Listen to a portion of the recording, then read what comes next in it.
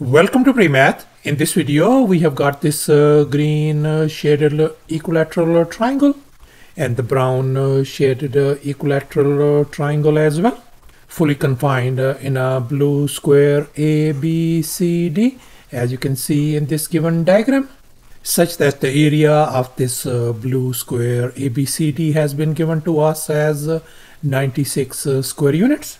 And now our task is uh, to calculate the area of this uh, green uh, shaded equilateral triangle and the area of this uh, brown shaded equilateral triangle as well.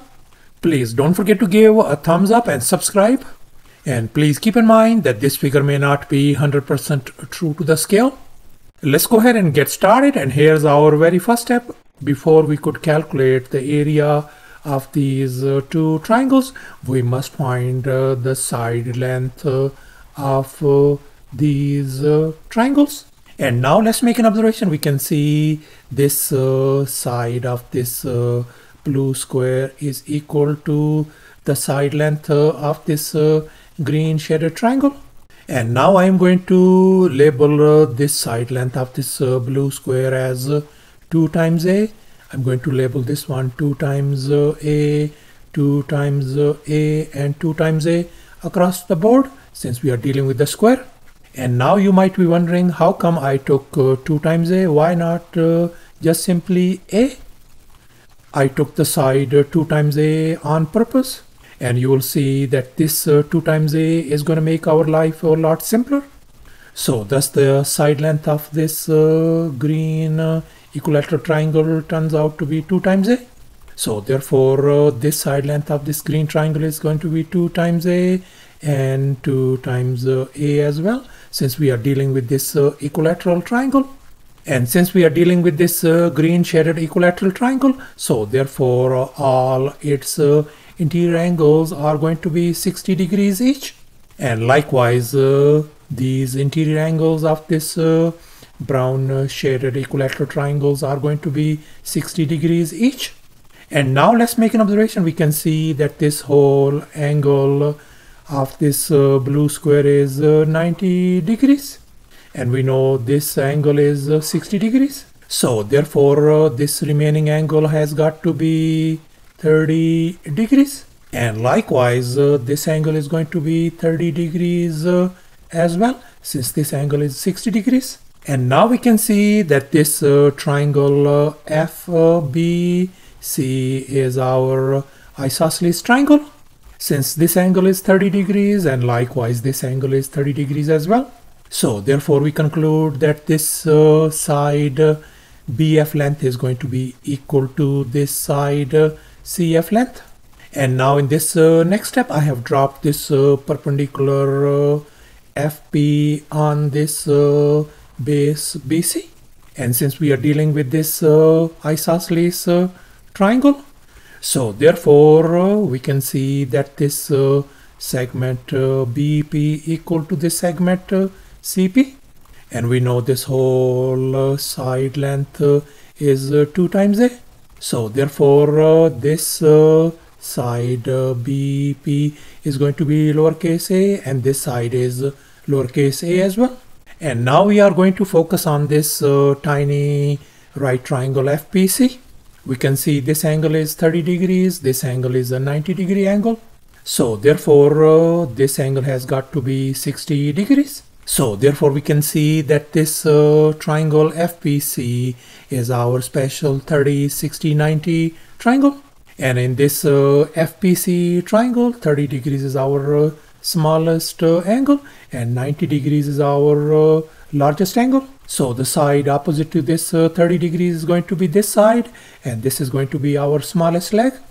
And this uh, hypotenuse is going to be opposite to uh, 90 degrees. So this is going to be our uh, longest side. So in such kind of 30, 60, 90 special triangle, the longest leg is always twice the smallest leg. If the smallest leg is uh, 1, then the longest leg is going to be 2. And this third leg has got to be the square root of uh, 3. And in general, if our uh, smallest leg is x, then our longest leg is going to be 2 times x. and this third leg is going to be x times the square root of uh, 3 and now let's make an observation. We can see that this uh, side uh, CP length is x times square root of 3 and this is also lowercase a. So therefore I could equate them. I can write uh, x times the square root of 3 equals to a. And now I'm going to divide both sides by square root of uh, 3 to isolate uh, x. So therefore we can see this is gone so therefore our x value simply turns out to be a divided by the square root of uh, 3 and now we are going to focus on this uh, side length uh, fc whose uh, side is 2 times x and our x value is uh, a divided by square root of 3 so therefore if we substitute uh, x value that is going to give us uh, 2 times uh, lowercase a divided by the square root of 3 so thus the side length of this brown shaded triangle turns out to be 2 times a divided by square root of 3 and now we are going to focus uh, on this uh, blue square ABCD whose uh, area has been given to us as uh, 96 uh, square units. And now let's recall the area of a square formula. Area is always equal to S square where S represents the side length of the square. And in our case, uh, the side length of this square is 2 times A and the area is 96. So therefore we can write 2 times A whole square is going to be equal to 96 the area so therefore we can see our uh, a square value simply turns out to be equal to 24 and now we are going to calculate the area of this uh, green shaded uh, equilateral uh, triangle. And now let's recall the area of a triangle formula. Area is always equal to a half times uh, a times b times uh, sine of angle c. As you can see in this given triangle here we got these two sides a and b and c is the angle in between. So therefore we can see that our uh, side lengths for this uh, green uh, triangle are going to be 2 times a and 2 times a and the angle in between is uh, 60 degrees. So therefore the area is going to be a half times our side length is uh, 2 times a times once again side length 2 times a times uh, sine of uh, angle uh, 60 degrees. And now we know that our sine of 60 degrees is square root of 3 divided by 2 so therefore I'm going to replace that sine of 60 degrees with the square root of 3 divided by 2 over here. And likewise we can see this 2 and 1 divided by 2 they are gone. And here we can see this uh, 2 and 2 they are gone. And now we know our uh, a square value is 24 so I'm going to substitute that value 24 over here.